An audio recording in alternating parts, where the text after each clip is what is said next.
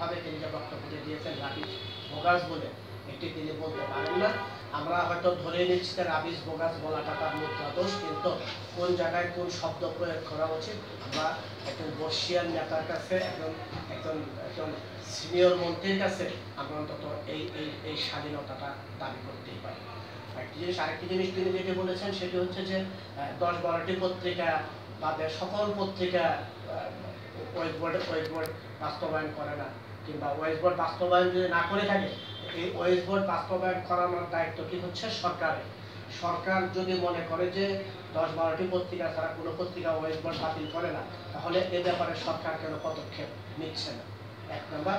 দুই নম্বর হচ্ছে যে কোন কোন পত্রিকা ওয়েস্ট বোর্ড বাস্তবায়ন করে না, তার তো তালিকা সরকার করেনি।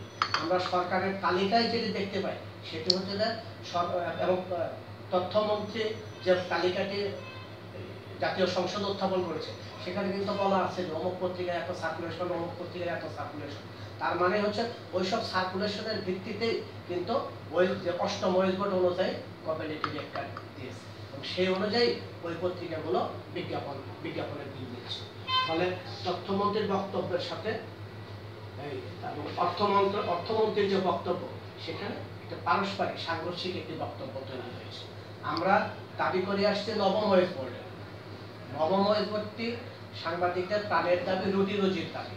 আপনারা জানেন যে সরকার এখন সরকারি কর্মকর্তা কর্মচারীদের যে বেতন বাড়িয়েছে, সেখানে এখন তাদের বেতন আমাদের তুলনায় অনেক অনেক বেশি হয়েছে। দ্রব্যমূল্য, এখন যে ঊর্ধ্বগতি এবং এখন যে জিনিসপত্রের যে দাম বৃদ্ধি পেয়েছে, এই বাজারে সাংবাদিকরা এখন যে যে বেতন পাচ্ছে অষ্টম বেতন দিয়ে কোনোভাবে সাংবাদিকরা তাদের সংসার চালাতে পারছে না।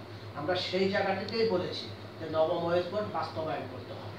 এবং নবম ওয়েজবোর্ড বাস্তবায়নের ব্যাপারে বারবার তথ্য মন্ত্রণালয় থেকে আমাদেরকে বলা হচ্ছে নোয়াব কোনো প্রতিনিধি দিচ্ছে না। এবং নোয়াব যে প্রতিনিধি দিচ্ছে না, আমরা বারবার নোয়াবের কাছে অনুরোধ জানিয়ে আসছি।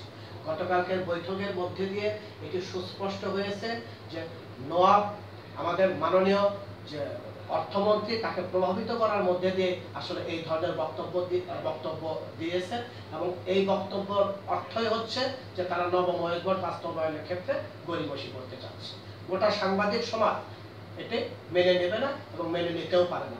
আমরা বাংলাদেশ ফেডারেল সাংবাদিক ইউনিয়ন, ঢাকা সাংবাদিক ইউনিয়ন, ঢাকা রিপোর্টার্স ইউনিটি বসে এই ব্যাপারে অভিন্ন কর্মসূচি গ্রহণ আচ্ছা একটা ব্যাপার ওনারা ওনারা যে বেতন তাহলে এটা বলতে পারি যে সরকারের যে বেতন কাঠামো, সরকারি কর্মকর্তাদের এবং সাংবাদিকদের বেতন কাঠামো নিয়ে আজকে আমি একটু আগে মালিকদের সাথে কথা বলেছি কালকে অর্থমন্ত্রী বলেছেন যে সাংবাদিকদের বেতন বেশি। এই বক্তব্যের সাথে আপনি মানে এখানে একমত কিনা বা এটার সাথে কতটুকু দ্বিমত?